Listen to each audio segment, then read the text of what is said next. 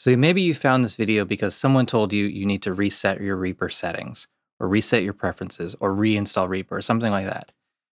Most of the time, that's not necessary. I think that's bad advice. But in this video, we will look at all the various preference files and how you can make changes manually or uh, delete them entirely and reset.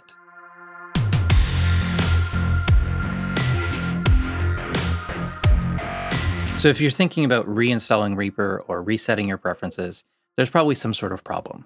Let's assume that you can actually get into Reaper and make changes. So let's start with that. So if you can get into Reaper, we go to the options menu and then show Reaper resource path in Explorer slash Finder. And this folder contains all of the preference files, all of the related uh, files that Reaper uses um, that makes it custom for you.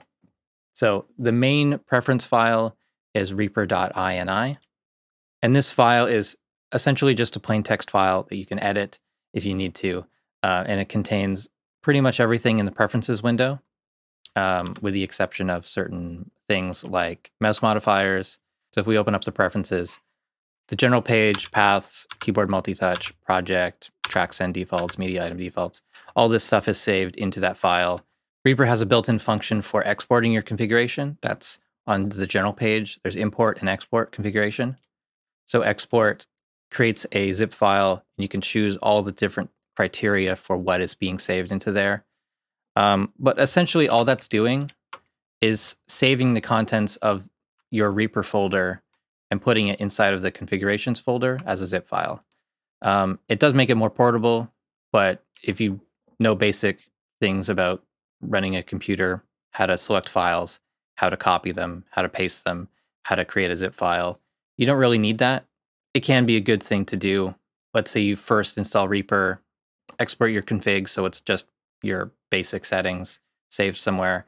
You can customize everything the way you want, export again, and then you have, you know, your custom things. So you can always go back to the factory defaults or go back to yours.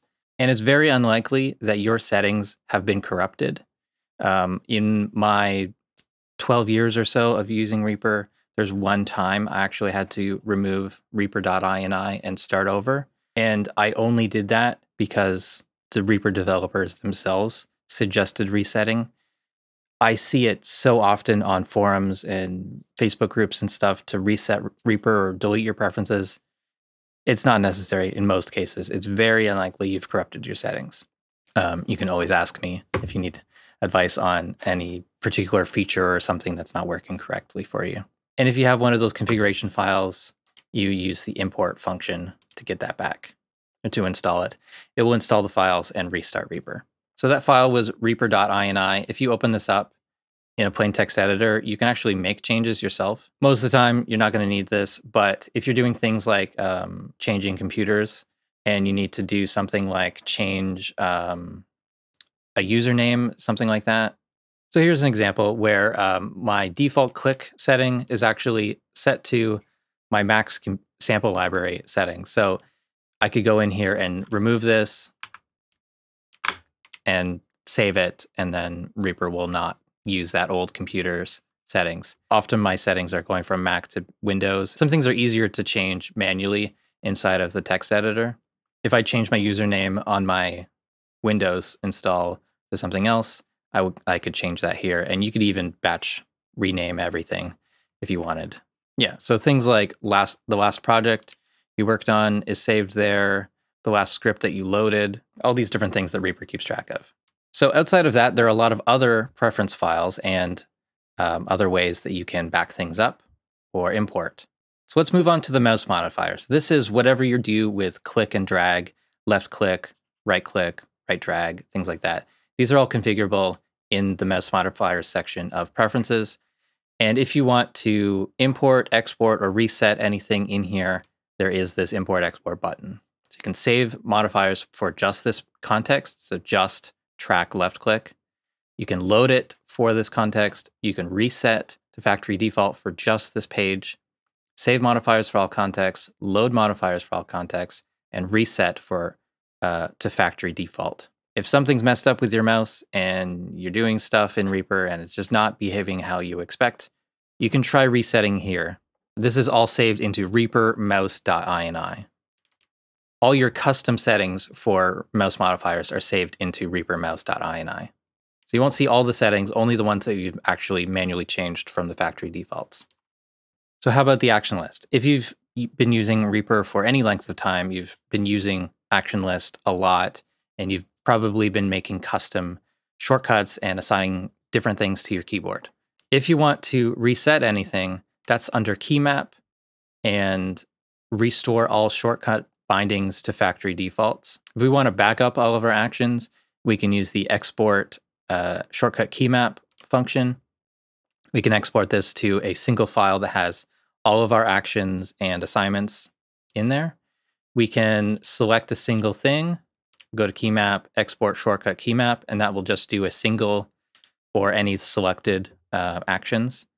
And we can also import key maps so from other users or your own backups. And all that stuff is saved into Reaper kb.ini. So if we look in here, this is all of the actions, SWS assignments, everything that you've done for um, every context of the um, action list.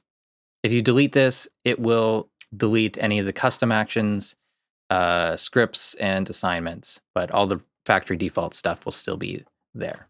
If you want to back up, this is the best way to do that. Just keep track of this kb.ini file. I will say using kb.ini to actually make changes to any of this stuff, it's not really user readable or editable. You can see some key assignments here and which script it's a, attached to, but it's not really easy to edit. There are some things you can get from this, like um, if you're using this custom play selected item action that I have set up, you can see that the um, individual actions for that custom action are right there inside. Any of these custom actions, you can see the list of the actions inside. So far, we've talked about the main preference file, mouse modifiers, and the action list. Now there's extensions, and there's the ReaPack extension and the SWS extension. And again, these have their own preference files. The SWS extension doesn't have a built-in way of exporting your preferences. The majority of the preferences for SWS stuff is in snm.ini. We've got things like the Cue Buss generator, item notes, region playlist preferences, SWS resources. Those are all saved in here. And um, there's also things like the number of actions for certain things. So uh, NB of actions. There's a lot of SWS actions that use different slot numbers. So for example, if we wanted to change the number of actions listed in the action list for the function set effects blank offline for selected tracks, it comes with up to eight, but we can customize this in here, snm underscore fx off equals eight just change this to 16, 12, whatever you want. And then next time you run Reaper, you will have that many actions in the action list for that function. This is one of the situations where you actually need this preference file because there isn't a function inside of Reaper to do this manually. snm.ini is the main one for SWS extensions, but then there are some others. So snm cycle actions.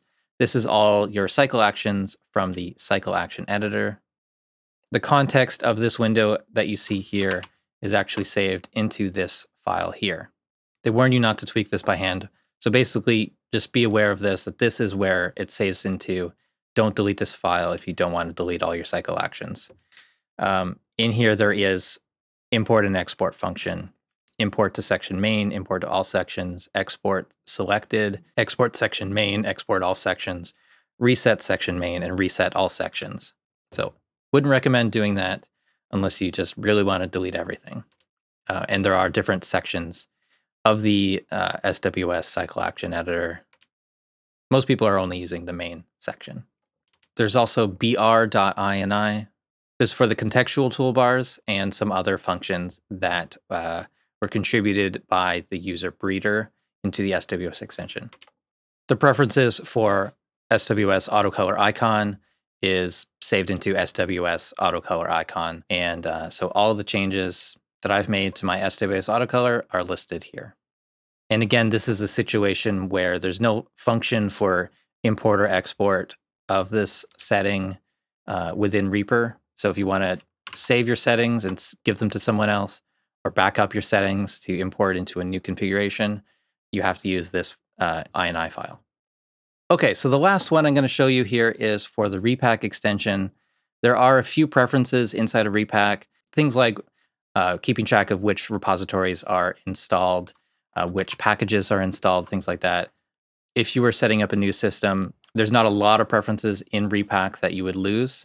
It's just a few different things here. The different uh, remote packages that I've imported and things like that.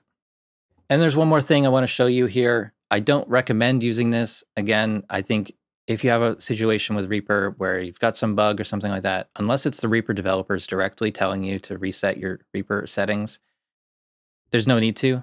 But on Windows, there is this option in the start menu, find Reaper x64, and then there's going to be this reset configuration option, uh, reset to factory defaults. I'm not 100% sure on what you actually lose doing this if it just resets the preferences or if it just deletes everything. I think it's the last resort. I think this is, I think it's unnecessary to use this in 99.9% of cases. Yeah, just let us know in the Reaper forum or in the Facebook groups or something like that what your problem is. Someone will know the answer and it's not going to be reinstall and it's not going to be delete your preferences. It's not that kind of DAW. So that's it for this video. Thank you so much for watching. Please subscribe to the channel if you haven't already. Follow me on Facebook and Twitter. Support the Reaper blog through Patreon. And visit reaperblog.net for a lot more tutorials.